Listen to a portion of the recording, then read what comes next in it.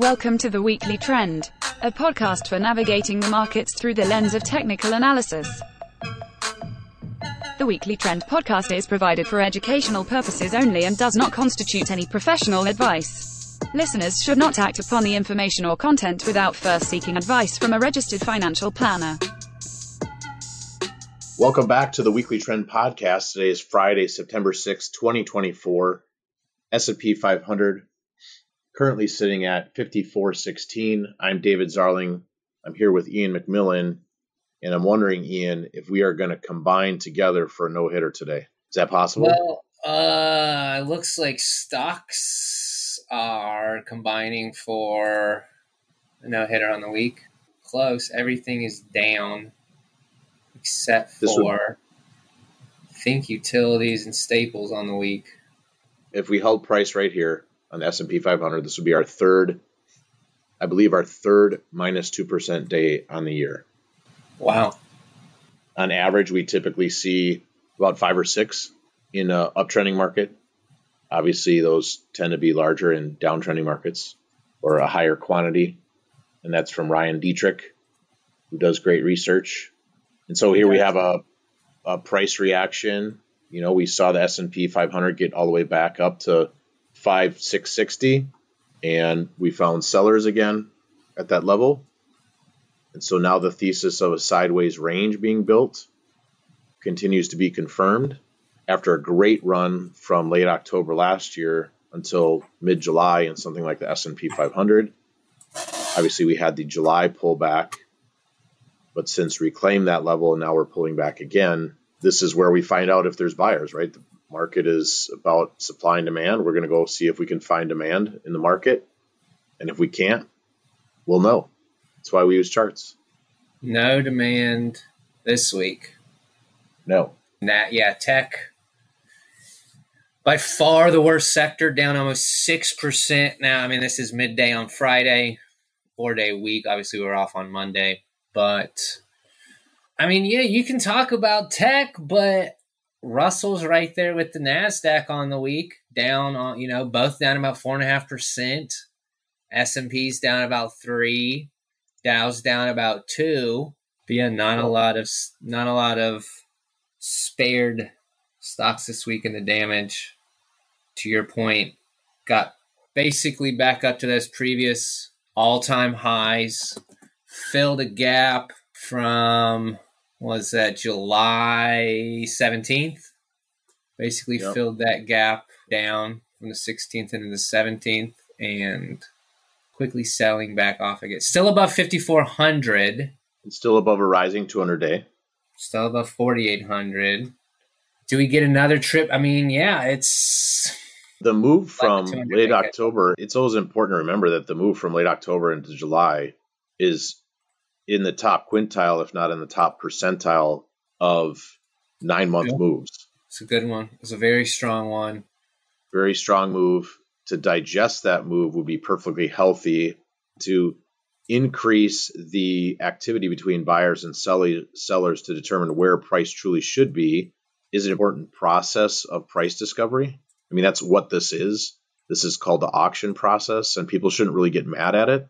I mean, I'm not saying that people shouldn't like just love that there's 7% volatility happening or a 10% range that happens, but that would be perfectly normal considering it's September and October, September being notoriously weak and October being a what I would call a volatility amplifier directionally. And so we're heading into two months here that seasonally speaking have been weak and especially the second half of September tends to be weak. Now, you don't use it as a guarantee or a predictor. You use it on do we get that? Do we get a really weak second part of September? I don't know. I do you know? I don't. Dang it. But yeah, I thought you would know. things. No. Yeah, I mean, you just you definitely got a clear line in the sand with 5600 or 56, 50, 50, you know, whatever you want to call it. And, you know, we'll see what we do if we come down to this 200 day or what day did we bottom? I guess it was August 5th. That was all the Japan stuff that Monday. So yeah, to use like we get it, you get a 9 10% range in here. To me, it because we're market historians, it's really interesting to see. You know, there was a period of August, September, a little bit of October 2020 that was like this. You had had a huge move out of the COVID low, and then you had this really spike in volatility in that August September range that also created sure. a decent side range that was really quick. And do we get that same thing? Because right when some really smart technicians that that we know, like uh, J.C. Parets or Steve Strazza, they highlighted that when the VIX spikes like it did back in July, first part of August, that's when correlations go to one. Yeah. And when the VIX cools off, that's when correlations cool off. And I think that's a great way to describe what we're currently seeing. There's some sectors doing better than others. There's some stocks doing better than others. Another fancy word would be bifurcation. You know, you're not you're seeing a, a separation of those things that continue to move higher and those things that are not. And the beauty of using the visualization of price is you've highlighted 5600. We have a rising 200 day at 5100. We have a volume pocket, if I can call it that, where it would make sense to see buyers and sellers interact near, you know, between 5300 and 5400 to fill in the volume there because just the July move alone pulled up the entire auction process that took place from late October through now. We had had going into that July high, the volume point of control was 4560 on the S&P 500 and just this action that we've seen through now has pulled that up to 5240. So we now have this range developing that we're going to find out where the buyers are. We're going to find out if the buyers are for real or is this all distribution? And I know you and Kevin talked last week, you know, areas of risk off or price levels that are important. We'll see if any of those are are triggered.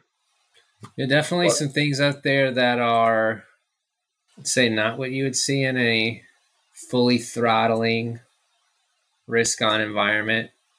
I don't really know if, if we're in the left hand lane doing 85 right now. You know, what we said earlier, top, your only two positive sectors for the week were utilities and staples. We mentioned some relationships, some risk on relationships like junk bonds versus the broad bond market. Again, it's it's a relationship that really got hit hard going into August 5th. I would say really hasn't fixed itself. And then I would put high beta versus low vol. Really, to me, they're almost identical charts. These relationships are in an uptrend. So, you know, like anything important to keep that context but intermediate term, short intermediate term, definitely you had to have every box checked. You'd never participate in anything in the market. Right. Um, but it's tough. I mean, I think you got to re- realize like if tech's going to underperform, that will be some type of headwind. It just mathematically is going to be a headwind. Right. Now, to what degree that headwind happens and, you know, other things participate in, uh, but we haven't seen that. It's, it's not like tech had a bad week and seven of the 11 sectors were up. Right. And so you kind of got this glimpse of like, okay, well, maybe it's not really that bad under the surface. Yeah, definitely some. But Ian, you know, how can how can Nvidia just smash earnings and be lower. Yeah, Nvidia's that was a market leader, and I think it's worth paying attention to that. It's kind of similar to when you see just terrible earnings. Yeah. You see a gap, you know, you see a gap down or you see some type of response that's opposite of what you would think. You need to pay attention to that. And so if you have Nvidia, a market leader off of the October 22 bottom, like one of the most prevalent ones, and it has record setting earnings, and the institutions decide to sell at this point, it is worth paying attention to. I'm not saying it's like straight down from here by any means. But yeah, clearly things have changed. I definitely think it is. I mean, I think most people are sitting a little bit more upright in their chairs these days. regarding the market. And if Nvidia closed right here, right now, on a relative basis, it would be at a new versus the S&P. It would record a new lower low on a very near term basis, which just is just kind of signaling that there's a pause, that auctioning needs to happen here. Now we're going to find out if this auctioning is distribution or whether buyers are willing to step up and pay a higher price. It's really that simple. We don't really need to overcomplicate it. No. Everybody like, loves an uptrend. Yeah, I don't know how long it lasts. I don't. I wish trends went in straight lines. SMH semiconductors are below a 200 day moving average on a relative basis. They've broken a horizontal level that's important versus the S&P. Gold so miners fell off. Yeah. I mean, not drastically, but that was, and there was not a lot of areas making new relative highs lately, given all the back and forth and wishy washiness we've had. Gold miners were there, not last. Dollar it's not like the dollar's been ripping higher. We found support at 101, which, you know, I'm pretty sure Dave and I talked about two weeks ago to expect. Uh, it's a pretty big area where we've been finding support for really 18 months at this point. So we did find support there. Dollar bounced. you know, and here's the other thing. So, right, weak dollar is supposed to be. I mean, I would say we're still on a weak, like a weak dollar. Yeah, we're below it down this week. I'm pretty sure the now, dollar is down this week. We're now below a falling 200 day moving average in the in a trade weighted dollar using DXY. Yeah. Now, so why hasn't this showed up? Or I saw a comment today. You know, rate like rates have really. We talked about this in the client letter that's going out today, but rates really. I mean, you got I mean longer like duration is in year to date lows for a 30 year treasury yield basically yeah, where we were on Christmas. Yep. And Christmas of last year, yeah, for sure. Yeah, it's yeah, you're definitely seeing some signs in the bond complex using. But I thought like, I thought lower rates were supposed. I mean, that's supposed to be a huge reprieve for, especially the small caps. And you know what's interesting is Mike Zaccardi, a CMT, posted some information yesterday about the average returns when I saw that between three and four. Yes. So yep. stock stocks have done the worst when the 10 year was between three and four percent. We're currently sitting north of 3.7. And so it's, it's it is interesting to keep that in mind that quote unquote lower rates don't necessarily equate better stock performance or some Goldilocks scenario. Right. One thing I wanted to kind of run past you here is, you know, the topic du jour is the uninversion. So is that yes. version? Oh my gosh. So the uninversion of the yield curve, 210, two year yields, 10 year yields, there seems to be a lot of focus in the industry there because the high prevalence of quote unquote recessions when this takes place, but it's typically months out, it, you know, like 12 to 18 months out from that, which if we're recording that, my thoughts go towards this is people looking at data since 1990. Yeah, exactly. Now, this has been a li- like it even goes back to I mean, really anything when the data was like, oh, this happened in a rising rate env- or a falling rate environment. Hmm. Yeah, that's what I wanted to get your opinion on. Is we talk about this uninversion of the yield curve, and we really are talking about the data going back to 1990, which was or is in a falling rate environment. And then those same analysts will discount when we were shifting from a rising rate to a falling rate in the early 80s that the uninversion meant nothing. So you have seen data pre 1980. Right, and and and the, and the uninversion didn't mean anything. Right, it didn't forecast a recession. Sometimes it did, sometimes it didn't. It, it was a blurry signal. And so we're very, as an industry as a whole, very myopic to the falling rate environment information. And so it does make us wonder if we're in a new rising rate environment and that because I understand we started this part of the conversation talking about rates falling for this year. That's a very near term perspective. yeah. in the grand scheme of things, we saw bonds further than stocks during the corrective period of 22 and 23. And is this some type of pullback in bonds in an ongoing downtrend? That's to be determined. Yeah, I guess my simple. I mean, that's where really my, again, to be determined. I think that's the scenario I continue to err on. Well, and what we know, like government can do whatever they want. We can go back to ZIRP tomorrow, and that's off the table. But we've really pushed this 34 year cycle, 30 to 40 year cycle. Like, I just don't know. I mean, it's like, and what can a government do against massive global interest rate cycles? Right. Some believe the Fed sets the rate. We make the argument that the market sets the rate and the Fed is forced to follow. Yeah. I and, mean, they talk about, oh, we're getting rate cuts. Well, I can look at treasuries and tell you the market's telling you that. I don't need yeah, the market. Yeah, I don't need Jerry telling me that in September when the bond market's already telling me that now. I mean, the bond market's already telling us that rates on the near term are going lower. And yeah. that doesn't have to be a great thing for equities. Because I've even heard the comment of, oh, isn't that convenient that they're going to cut rates right before the election? Well, I think they're just responding to the market.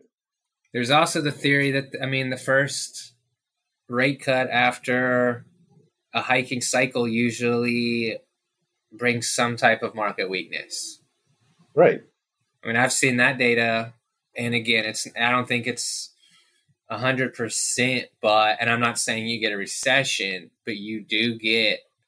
I'm not trying to put on like a macro hat, but it's kind of one of those when they cut rates after raising them and raising them, it's kind of this like, oops, we went too far. And so the market can sometimes see that, market participants can see that as a. How many times have we talked about people, institutional decision makers out there, the trillions of dollars that get thrown around? How many of them were making decisions, even if they were around 40 years ago, probably pretty young in their careers? Were they even making decisions? It's just it's a really a really a really a brand new landscape, potentially a brand new landscape regarding in interest rates for the next 40 years. Yeah, 40 years. And I, I, I mentioned in the client letter, no one wants to hear after all of the hoopla over six to seven percent mortgages. Oh my gosh. Can you imagine reading? Well, rates could continue up for the next three decades. And again, they won't move in a straight line. Are we going back to 14% mortgages? I don't know. I don't know if it means we go back to the extremes of the 70s I don't know necessarily what it means for the stock. I mean, the stock market's pretty sideways there from like 68 to 82. Correct. And if you had a trend following, we do actually have the data. If you were like a, even like as much as people, and it does like historically it's bad, but like I think the 50 or 200 day was actually pretty good. Like you did really well in the 70s with trend following, even with kind of a, a late signal like a 50 and a 200 day. But it was just a mess yeah, I don't know what it means, but I yeah, I'm still in the camp that I don't know, maybe hey, hey, lock that mortgage in at seven percent. I don't know if it's going to be at seven percent in five years, right. ten years. Yeah, the near term is maybe, possible. Yeah. The near term is possible, but it, it goes back to the topic du jour on uninversion is based on a 1990s through now mindset but we know that markets have multiple cycles. Okay. We could talk about the 10 year oil cycle. We could talk about the 18 and a half year real estate cycle. We could talk about the 40 year interest rate cycle. And these are things that go back to the 1700s, 1600s. There are forces at work that exceed our ability to comprehend on a timeline. And are you open minded enough when you manage risk that the information is more like a pre 1990s. So does an uninversion not carry the same weight in a rising rate environment? That's again to be determined. We don't know, but we're open minded enough. And the beauty is we don't have to guess. I mean, S&P 500 step 1 below below the prior high is information, below a 200-day moving average is information, 4800 is information. I've got one for you too on to go back to your cycles. I don't think you mentioned this one. And it's not one we bring up a ton. But I know I, we don't need to get into it here, but the Gann cycle 2024 is an interesting and I mean, right? We got the 2020 panic. Now 2022, you know, again, this is not I wouldn't say like this is going to line up always like January through the end of December. It's there's some It's give a and take. It's a window. Yeah, it's a window, but you're 24, 25, really 26. And the last so and I'm not saying it happens, the last signal for this was 2006. We know the worst of the worst did not come in 2006, but I mean the It last one shortly was thereafter. yeah, the Gann cycle said 06, 08, the market's going to get crushed. There were things that started selling off in 06 and 07. That's right. Uh, for sure. For sure thing. I mean, markets started to top out and got real weird well before October, you know, 2008. right. So do we I don't know, it's another thing. I'm just saying. I am just saying it lines up. This is a cycle that goes back to to go to your point earlier. It's a cycle that goes back to 1784. You can read it for yourself. I do find that the 2024 2025 window is and that Yeah. kind of fits on that 18 year. I think doesn't he kind of work off an 18 year? Yeah, there's there's an 18 year cycle there as well. Yeah, because your next one's 2042, 2043. We are entering a window, and Ian's not bringing this up to sound more bearish than we need to be. It's just awareness that there's a panic cycle that has windows. Does it come to fruition? No idea, but it's why we use technical analysis. Like we don't have to guess at this. We will know if sellers have control if we can't hold something like an S&P 500 step 1 5250 step 2 the low that we recorded in August 5140 the 200 day moving average which is near 5140 if you we start moving through those levels or you create a sideways range that right because because consolidations quote unquote should resolve in the direction of the prior trend. So we have an uptrend if we're having a consolidation which that thesis seems to be confirmed if we have a consolidation and it breaks to the downside Yeah, that would. Yeah, I mean, if you're going against historical norms there, and I know that you know, I know people sit here and they're like, "Oh, a, t- a trend should continue in the direction it you know right." Like, duh, Ian, duh, Dave. That's so simple. I don't can't use that to beat a market. I mean, that's yeah people people don't like simple I mean, I think it can. I mean, back you you know you gotta appreciate the trends. But yeah, if we get out of here, short term, we lost kind of this whatever you want to call it up here, fifty five ninety. But yeah, I mean, you break below the August fifth lows at fifty. Well, let's call it fifty one hundred. That's gonna put you below a two hundred day too. right And yeah, then you really start. Now, our last trip below the 200 day lasted for a week, that last week of October. correct And before that, that one lasted a week too. That was March 2023. So we'll see. But yeah, we are getting up there. Getting there. Well, There's some things there are there are things lining up that say expect some weakness. To what degree? We'll see. But yeah this two this two month period historically volatile the market update to clients highlights that the relationship of technology to the S&P 500 right because you always you're always analyzing where should we be positioned and where shouldn't we be positioned because where you're not positioned is just as important but XLK versus S&P using technology has been a leader for a while. Yeah. Is responding to a price level that was important going back 24 years, going back to March of 2000. And we've since responded to that level in XLK versus S&P back in J- July. Yeah. And we've lost a 200 day moving average and we're going to record another lower low in the very near term. And so there's really no advantage in tech at this point. It could have absolutely rebound. I mean, you could have a flat 200 day moving average that goes on until next year, summer of next year. But I'll tell you, when I pull up a chart like this, Dave, when I pull up a multi decade chart of this relationship and look at it, I mean, there is significant potential. Like, and we're talking about this is honestly maybe even, well, you know, best case scenario if you're a growth or tech, you know, lover that rips higher, sure.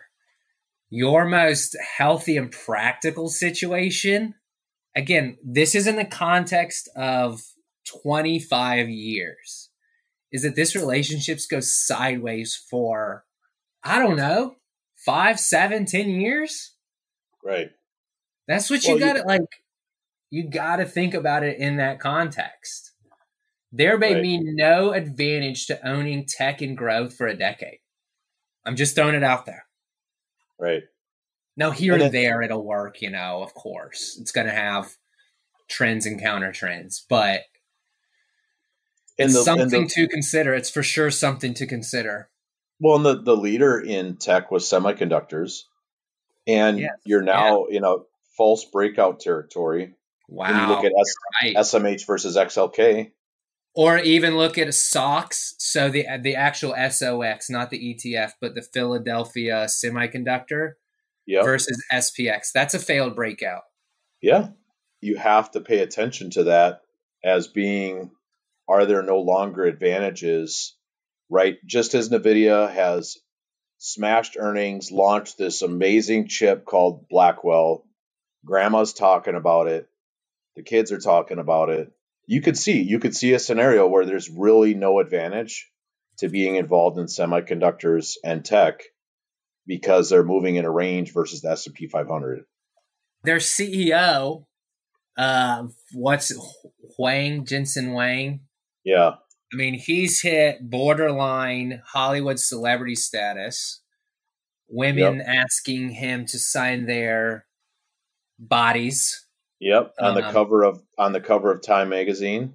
Yeah, I mean, he's reached at least in the business world for sure you know, this kind of celebrity can do no wrong status.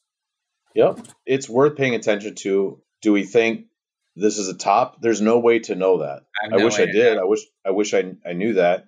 I mean, until you're below 4,800, I don't know how you can say that. Correct. But, and I know there's going to be people say, well, 4,800 so far away. Well, yeah, it is. And that's how that's how big long-term trends look work. It, just you get below 4,800 and uh, and I'll give you a two a, below a two hundred day and below. You know, we just talked about fifty one. I'd even say below the April lows at forty nine. You know, we'll call it five thousand. Yeah, I mean it's the forty eight hundred. I don't know. We don't get to change our line in the sand, right? Not that big a one. And you brought up relationships before, right? High beta versus low vol is off. You know, it continues to move lower Typically, we want to see that move higher. Your leaders, NVIDIA, there's definitely shots across the bow here. Eli Lilly, a leader, broke to new highs, has since pulled back with the RSI momentum divergence. Do we see these things cool off? You know, you have a economically sensitive item like crude oil that's going to record a price low that we haven't seen since March of 2023. Yes, brought we mentioned brought that up in the client letter. I think, Dave, I'm with you. I think the weakness we saw from mid July into early August, the subsequent rebound, I think, you know, as a technician, that yeah, we're trying to create like we're trying to create a range and figure out where this actual supply and demand is going to come in, or if it comes in. I'm saying it has right. to. That's the beauty of this is markets are a future discounting mechanism. I don't know why people forget, uh, and I'll always bring this up that the market is looking out 12 to 18 months into the future. And the price movement that we're seeing now is about that. And it's also about finding who is willing to buy currently for the next 12 to 18 months. And so this, what appears now to be a range that sits, well, let's call it 5,100 on the low side, 5660 on the high side, that type of price movement, we get to find out who's for real. Is it the sellers that are for real or is it the buyers that are for real? It is absolutely why we use technical analysis. There's no way about it. You can't make macro I bets. Sit here and guess. Right. Like the visualization of data is so powerful. It's one of the greatest inventions since candlesticks were invented that we can look on all these things on a chart, compare them to each other, you know, whether we're looking at technology versus the S&P or you're looking at semiconductors versus technology, relative strength is real, opportunity cost is real. You know, we talked about interest rates before, and here you have an aggregate bond complex using AGG that's above important levels that have gone back to 2022. There's information upon us where we don't get to be surprised if we have a range. We don't get to be surprised we break important levels to the downside and we have that information. And at the same time, we have rising 200 days across a lot of different in- instruments, and volatility is normal. You know, when you talk about candlesticks and the power, the power of simply zooming out on an historical price chart of something. I mean, there's a guy, I mean, there's just some dude in Japan in the 1700s. I shouldn't say some dude, I know his name, Hamamuni. Munehisa. Yep. And he just decided he was going to start tracking daily rice prices when he went into the market. And he came up with this theory of, you know, essentially open, low, like what's the price when I get there at eight o'clock in the morning? What's the price when I leave at four o'clock? How high did it get? How low did it get? And we're 300 years later, give or take. He was actually born in 1724. And here we are. And I mean, obviously, he knows because he can look down, you know, on the world. But the fact that his invention, and I'm sure he was just drawing it, maybe he was writing, writing them on paper, maybe he wrote them in the dirt. I don't know. But like that, we use that now. I mean, their entire software systems, and it's gone even further, right? Like you can drill down to literally three second charts with the same principle. Yep. And it was just some guy who was like, you know what? I could visually chart this. Fascinating to me every time I think about it. Well, and, it's extremely valuable because it is a law supply and demand. More supply than demand, price drops. More the demand than supply, price rises. Regardless of what Jerry says, regardless of NVIDIA earnings, it just is what it is. We don't get to sit here and say, oh, that's not right.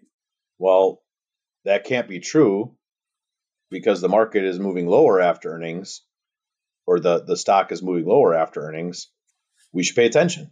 Or if you're to say, say, wow, rice prices were lower today than they were. And, you know, March was such a bad month for rice prices. And oh my gosh, here we are in September and rice prices are even lower. That means I got to be cheap, right?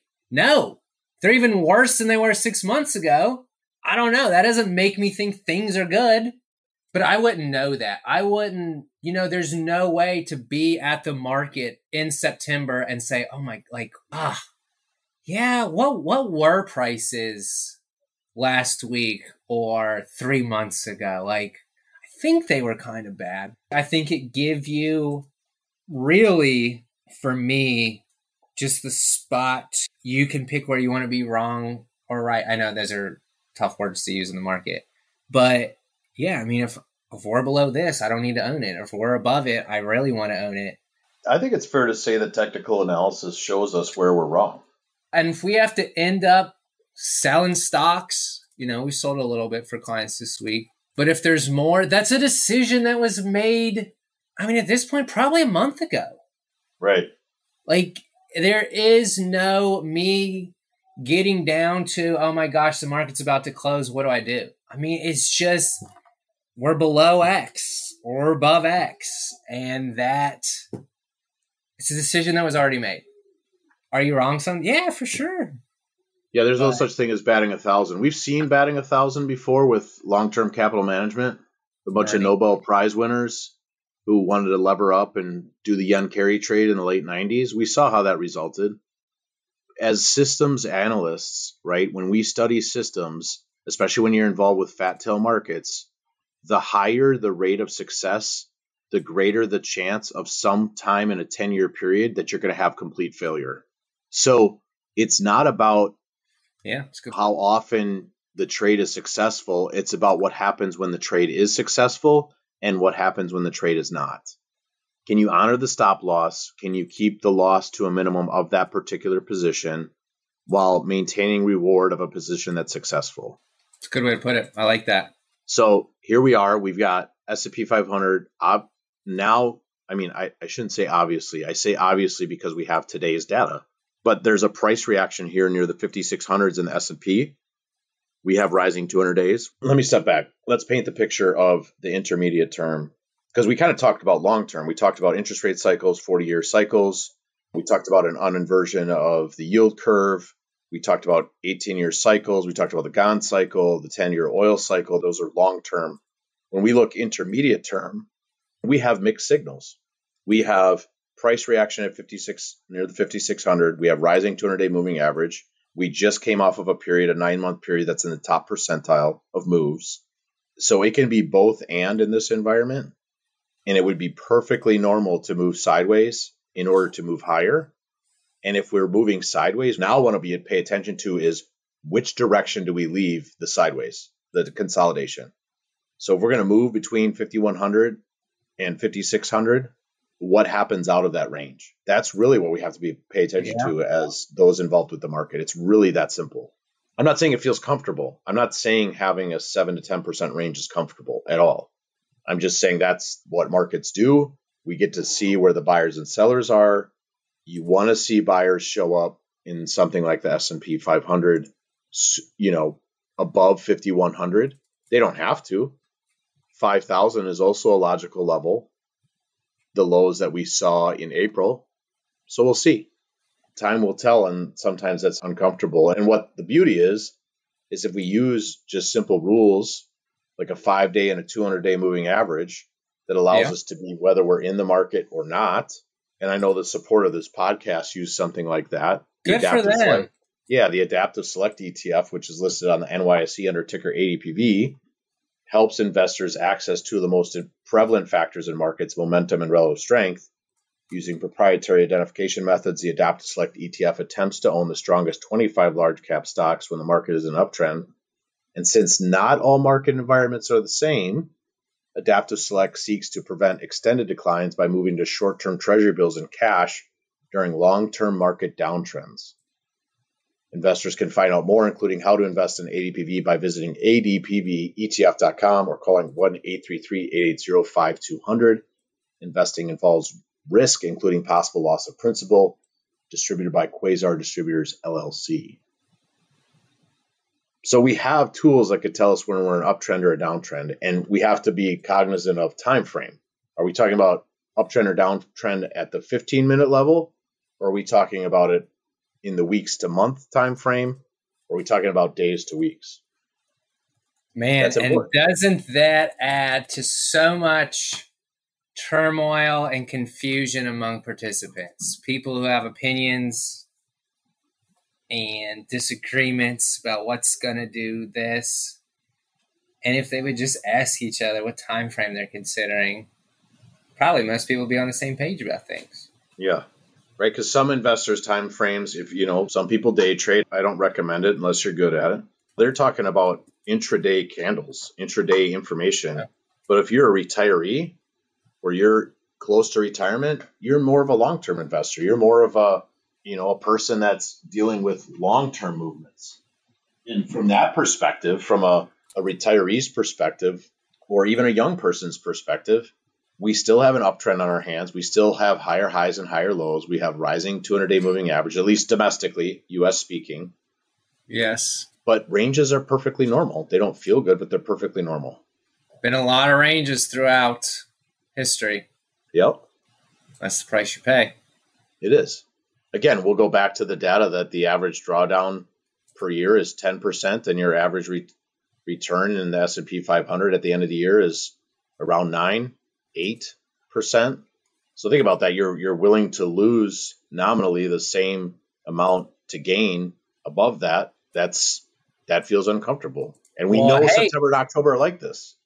I know we're only a couple years into this, maybe really not even a couple years.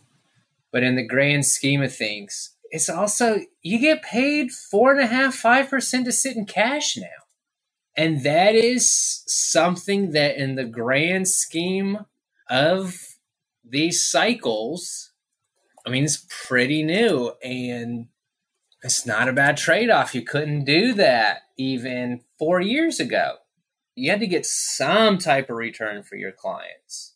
You had to go out there and find something. And that was, I mean, you got to do better than risk free rate. I guess risk free rate was basically zero. And that's just not the case anymore. Correct. The hurdle rate, as Warren Buffett would call it, you know, is that bond rate. And as we see that climb, you have to justify, and it's a beautiful two edged sword, right? If the hurdle rate rises, you have to justify being in the stock market to get that return. And also, interestingly, it opens up more competition for companies that are issuing stock to participate in capital markets in that fashion, right? Because if you can no longer issue debt at 1 to 2%, and you have to actually go to the capital markets to issue stock, we might see because you know we're we're at levels of stock issuance from public companies that are lower than we've seen in the last few decades. You'll probably see a resurgence if we're in a rising rate environment. You would see a resurgence in companies that are issuing stocks, so more stocks to choose from, and that's not a bad thing either.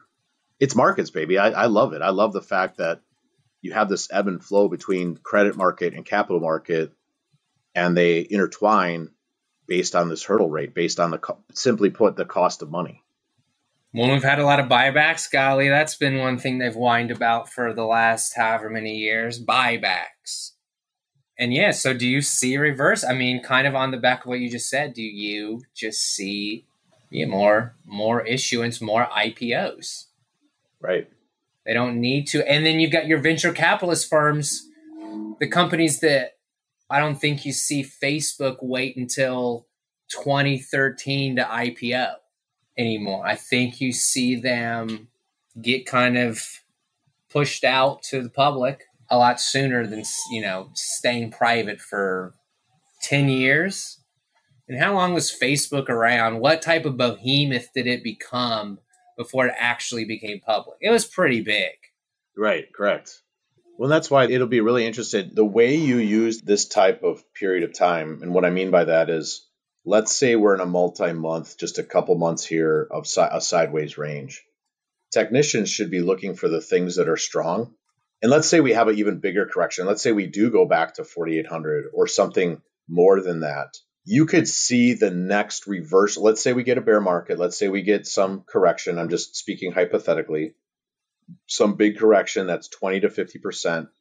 You need to pay attention to the things that come out of that, right? We've had the artificial intelligence hype. Could you see, similar to tech, right? The money got pulled forward for all the IPOs that happened in the late 90s. The capital markets pulled all that money forward.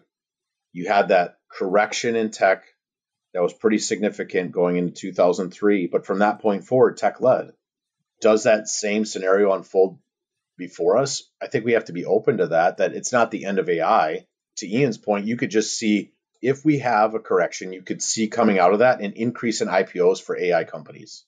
So this market environment is about being open minded and not too often I hear people say too far too fast or it has to go down or my favorite political person, if they don't get elected, it's going to crash. Or the Fed is doing this, the Fed is doing that, earnings are doing this. You know, it goes back to how many times do we see something like GDP get revised? Like, for example, this recession thing, we uninvert, we uninvert, let's say we do get a recession, We won't know that data until they revise it later. But the market's going to let us know where to be positioned and where not to be positioned. And that's where I, I can't imagine a process of managing money that doesn't involve studying supply and demand. It doesn't make sense to me. Everything 100%. else sticking your thumb in the air. And I can say that because I've tried it. I've tried doing the like we'll read headlines, kind of try and get a gist on what the economy and the market should do. I tried that. I just sit in I just sit in front of clients and talk about, or you know, we own this because it's got a historically low PE ratio, and we think over the next seven to eight years the market will realize its undervalued potential. I only have seven eight years. My clients, right. not all really clients, have seven eight years, and I've tried just what it really is is guessing with really no. I mean, if your buy-in signal is, well, I think the economy is doing well, I'm going to buy stocks, right? So what's like, what's your out? I think the economy is doing poorly. Well, so what? You got out in October 2008. I don't like. I don't. I don't. Where is that? So I mean, with a price chart, I can just draw a line and I know like this is where I'm, I don't care the reason why. I don't care what's going on in the world. I don't care about headlines. I just know if we're below this, I don't want to own stocks. And if that's not your, I just don't get how you get out. How do you determine when sellers have control? And then by the time it is, you're so mentally just in a blur imagine October, November 2008. You're like, holy man, things have gotten really bad. I need to get out now. Yeah, you got a couple more, but like, you're so. I mean, you've already lost 30%. What's that done to you? Right. I, I just don't. And then what's your psychological behavior when it's yeah. the basement in late 08, early 09 when there's blood in the streets? And and I don't mean that literally, I mean that figuratively. There was just people forget that late 08, early 09, people were literally talking about the end of the U.S. financial system. Yeah, I mean your what, house your house lost fifty percent of its value. There's a decent chance one of you or your spouse lost a job. Your 401k was cut in half. What's going to allow you to get back in? Yeah, you're already penny pinching on groceries. There's a decent chance you probably ran up some credit card debt for a little bit. And so now why would, why would you you want to pour money into S and P? Right. Yeah. You want to pour money into S and P? You got to be joking me. Right. Maybe, maybe when I get back to my high water mark from 07. Right. Well, I'm not putting any more money in this thing. Look what just happened. Yep. No good stock market. And that's why technical analysis is powerful because it allows you to get out when it doesn't make sense and allows you to get in when it doesn't make sense because it's not about the market doesn't care what I think. I don't know why it doesn't call me. I don't know why it doesn't return my phone calls. We would be at S and P eighty nine thousand if it cared what I thought. Right, but we're not. Nope, we're not. Heading towards the end of our time, Ian, to paint this picture again for our listeners, we have rising 200 day moving averages. We just came off an, a nine month period that's in the top quintile, if not percentile. September and October are notoriously volatile, seasonality speaking. We could be building a sideways range, which would be perfectly normal to up the auction process to prove that the buyers from before are real. And if that doesn't happen, if we get a sideways range that doesn't hold, we'll know. We'll have information. Our clients are already aware that we've taken our foot off the gas, we've reduced exposure, and we will do that again if we break certain levels. We will adjust and that's the power that's the power to adapt adaptability is one of the most powerful abilities you can have an open mind and able to change your mind based on the new data that comes in where bayesian statistic the new information that comes in is the one we want to pay attention to in the context of all the information that's available. And so here we have what appears to be a price reaction in the s&p below 5600 and until we clear that level we have a range upon us. And until we clear below certain price levels, we have a range upon us. It's not a change in trend until we have that information. 100% agree. So, anything else you want to touch base on before we close this out? No, I want to, you know, be adamant the long term trend is fine. We need to be thankful for what we were gifted November through July. And just realize like any nothing moves in a straight line. It would be very, very, very historically in line, very practical to have a healthy sideways consolidation for at least a couple months. Yep, for sure. And if we are above 5,600, maybe the consolidation's over. Or if we are below 5,100, maybe the consolidation's over.